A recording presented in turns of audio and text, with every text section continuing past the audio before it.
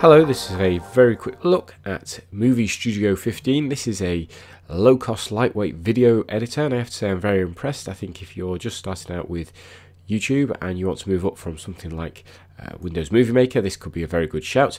I'm just going to quickly run through some of the features. As you can see here, I've got a video I'm currently editing. This is a review of some headphones.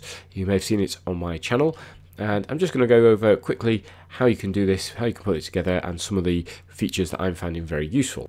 So like many movie editors you've got a tray for the project media so here I've got various bits and pieces, the videos that I've taken as well as you've got some titles here because I've been adding some titles over on the right, you've got the preview window. Down the bottom, you've got the timeline bar, and each of these represents something a bit different, and it's very nicely titled. So here we've got text, video, audio, music, and then I've added my own track. This is my voiceover track. So you can see on the main video track, we've got video, and that's been cut up. If I just zoom in, what's really nice about this is that when you drag your video over another, it will automatically add a crossfade. So I'll just demo this by going to the end.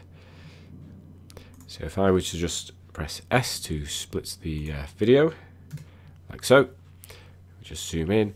Let's say I wanted that to crossfade across, simply do that. You see that will now add a crossfade from one video to the next. If you don't want that video track playing at the bottom because you don't want the extra sound, you simply right click, say switches and say mute. Now that's actually muted the top video, so make sure that you only click on this bottom section so you can mute the video and you can mute the sound independently. Down this left hand side you've got a very basic guide as to how to make this. So you add your video, add text and graphics, create transitions, add video effects. So if we just add video effects you can see there's quite a few in here and let's just go and apply one of them. So you've got black and white, just drop that straight on, you can see it's gone black and white.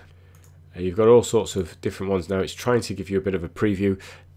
I find the best way is to simply drop it on because obviously you'll get a tiny preview, but uh, if we drop that on, in case you wanted a blurry video, there we go. So you see there's an awful lot of different effects and they apply very quickly.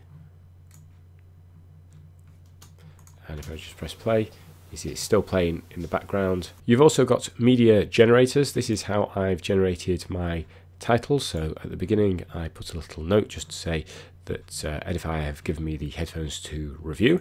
And later on, I've also added that the music being recorded is from the headphones.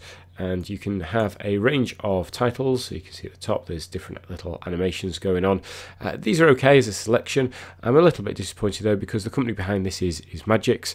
And I know in their Magix software, they have a really good titling range, fantastic little subtitles and all sorts. So I found these to be okay. Um, they're probably a step up from other software I've used, and they'll certainly get the job done. You can also generate various things like fractals and plasma and uh, starry skies. So you've got quite a few options there for whatever you happen to be working on. On the main working area, you've also got options within the media. So this is some music.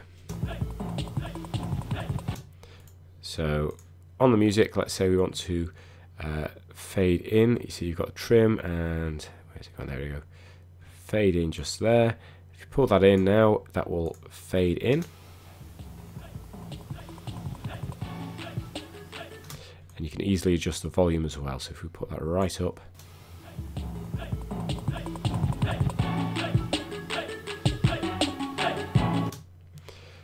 and you've also got these little buttons on here that allow you to apply uh, effects. So in this case these are audio effects but up here you've also got video effects that you can take a look at.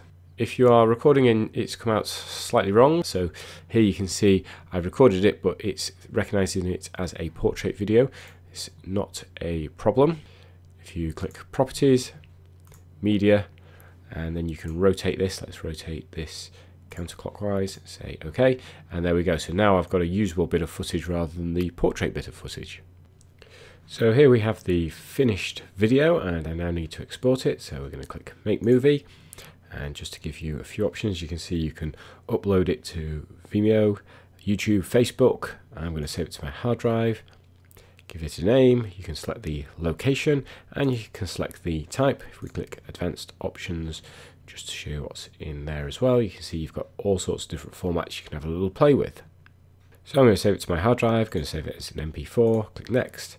and away we go. Now this is a fairly short video. It's about a minute and a half, something like that. And you can see it's going to take about two minutes in total to render this. And while that's playing, you get to see where it's up to in the preview window just in the top right. As you can see, it's taken just a little over two minutes to complete this. Uh, so the estimate was slightly off. Once it's finally completed rendering, you will have a little notification sound to play and you'll get the option of playing the video so you can check it all out before you upload it or burn it or whatever you're going to do with it. There we go. So there's there's where it is.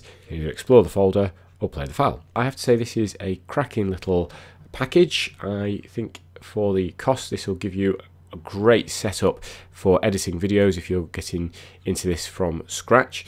There's quite a lot to dig into and you can have a little look at show me how, so editing videos, still images, editing audio, adding text, how to export.